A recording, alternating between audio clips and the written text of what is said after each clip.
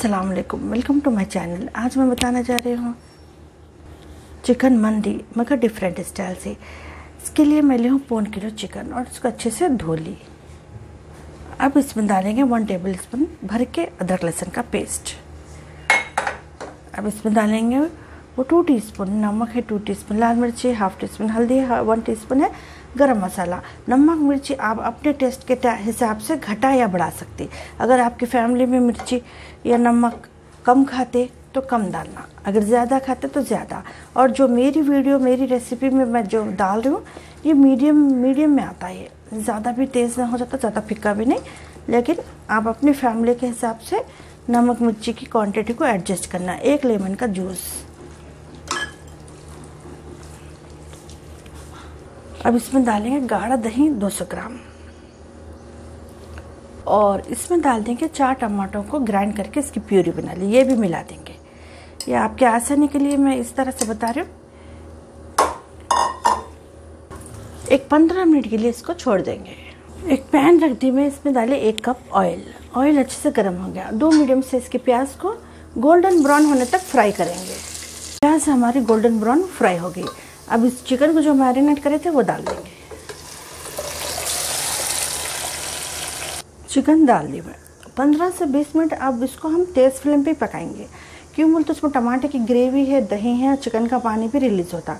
पानी ज़्यादा अगर धीमे पे पकाए तो और पानी तेज़ी से छूटता। तो हम क्या करेंगे? पंद्रह से बीस मिनट तक इसको तेज़ फ्लेम पे पकाएँगे, ढक्कन को ढाप देंगे। बीच बीच में ढक्कन निकाल के एक से दो बार मिलाएँगे। चिकन हमारा गल गया। पंद्रह से बीस मिनट पर तेज़ फ्लेम पे कवर करके पकाए, बीच बीच में इसको भून लिए इसका सारा पानी अच्छे से सूख गया। अब हम क्या करेंगे? चिकन के पीसेस को इसमें से निकाल लेंगे। चिकन के सारे पीसेस को इसमें से निकाल लेंगे।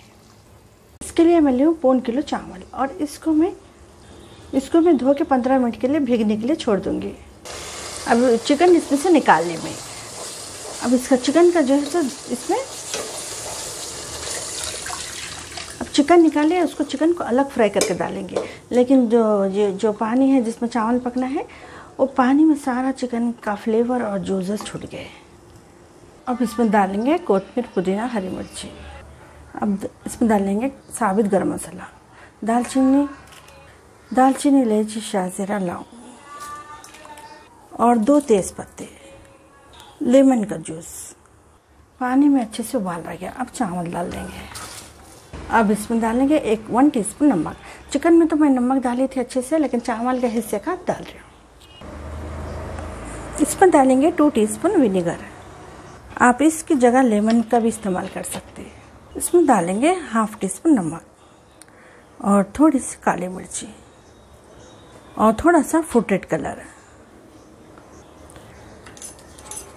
अब ये जो मिला है हम, चिकन को लगा देंगे। हल्के हाथों से इसको मिला देंगे, क्योंकि चिकन गले हुआ है। टूट भी सकता है, इसलिए हल्के हाथों से इसको मिक्स कर देंगे। पानी 10 मिनट में इसको तेज़ फ्लेम पे पका ली। पानी की क्वांटिटी आधी हो गई और चावल भी हमारा सख्त है।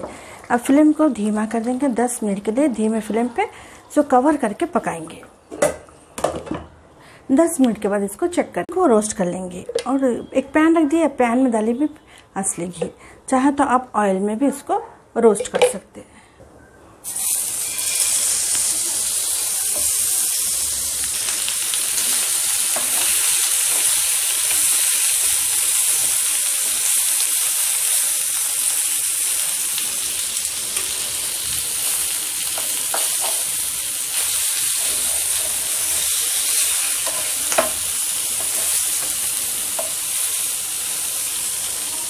चिकन हमारा रोस्ट हो गया, अब इसको निकाल लेंगे। चिकन हमारा सारा रोस्ट हो गया। दस मिनट तक मैं धीमे फ्लेम पे रखी थी, दस मिनट हो गए।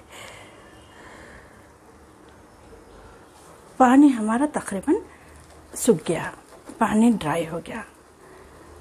अब एक चार से पाँच मिनट इसको धीमे पर ढाप के रखेंगे, काफ़ी है। अब इसके ऊपर चिकन जो रोस्ट करे थे, वो डाल देंगे। अब इसको कवर कर देंगे। चार से पाँच मिनट काफ़ी है, क्योंकि इसका पानी सूख गया।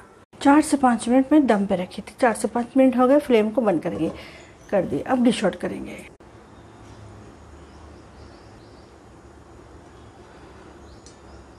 माशाल्लाह, हमारा चावल बहुत खिला खिला बना और माशाल्लाह, बहुत ज़बरदस्त खुशबू आ रही बिल्कुल आसान है, झटपटा आप इसको बना सकते।